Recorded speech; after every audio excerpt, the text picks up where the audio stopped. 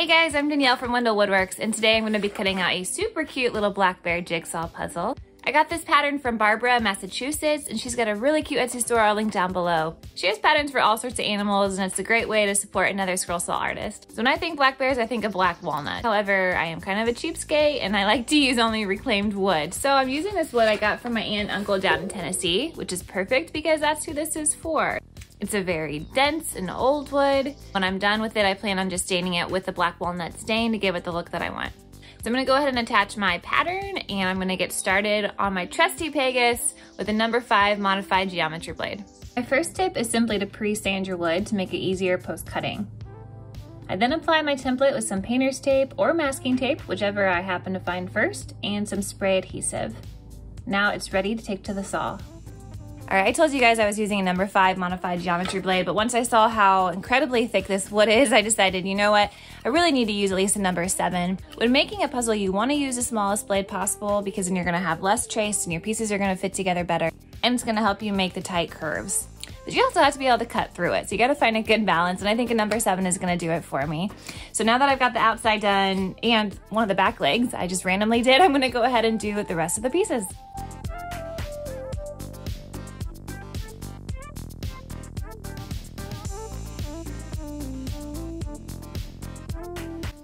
Something else to check here is for a bevel.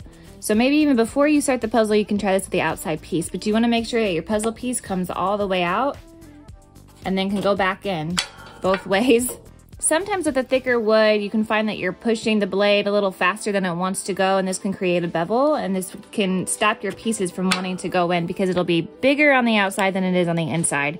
So something to watch for. If you're finding that you are beveling, you're gonna wanna either move to a bigger blade, and if you already have the biggest one you wanna use, and you just need to slow down, make sure that you take your time, make sure that the blade can keep up with your turns. I am more than halfway through this puzzle and I can tell that I am just struggling to get the blade through and that's because it is starting to burn out a little bit. It's getting a little dull. It's kind of hard to tell in this lighting and it's not because of the blade. Honestly, in my experience, I found that the modified geometry blades last the longest for me and burn the least and there's no burning on the wood. It's just that I'm impatient and I'm struggling to get through. So I'm gonna switch it out to a, a fresh blade that's gonna leave less of this residue at the top too, you'll notice, and I will finish the last few of these pieces.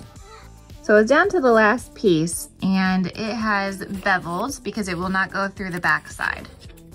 So a way that I try to fix this is trying to figure out where the bevel happened. Typically it'll happen around a big turn if you cut it too fast or if your blade is getting dull, which mine was. This is a very thick piece. It typically doesn't give me this much problem, but because of the density of the wood and the size of blade that I'm using, these corners are tending to bevel. So what I'm gonna do here is you can kind of see how it's bigger down here than it is the top. I'm actually gonna take this piece back to the saw and I'm gonna be careful not to recut any of the size from the top but I'm gonna run this close to the blade and let the blade catch that extra at the bottom and just kind of shave it off around here and around this corner where it kind of got bigger. And I'm gonna do this until it fits. And typically you can tell like by sticking it back in where exactly the bevel is catching on the back. So it's really just this corner for me and then it should fit, but I'll test it again, see if there's another trouble area.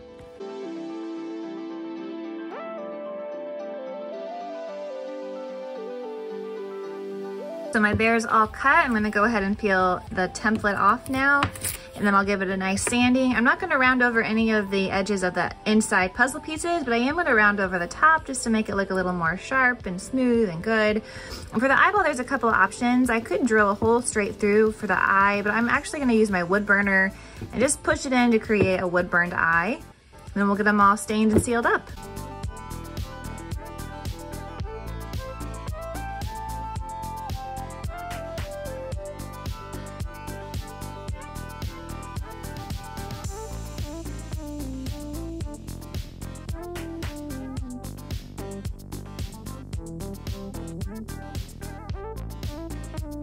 So here he is all finished and sealed up and just adorable, I think. And I'll ship him down to Tennessee soon where they see black bears in abundance.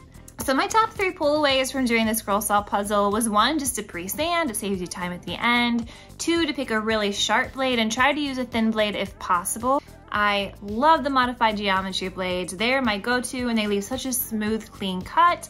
So no sanding required at the end really outside of just maybe rounding over the edges. And three to go very slow. Despite having a great sharp blade, I had to go really slow in order to avoid beveling and just for your accuracy. It's always better to be slow than sorry. So I hope you guys enjoyed that. Check out Melissa's Etsy store for some great patterns and have fun. Thanks for watching you guys. Happy scrolling.